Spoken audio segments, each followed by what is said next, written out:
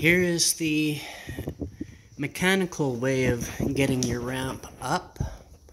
Here is the up motion. It's pretty slow,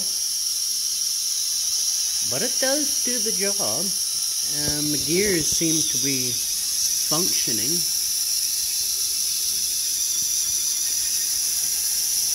I find it a lot faster to do the hand crank method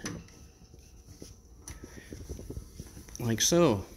Um, I would use two fingers to support it, but uh, there you go.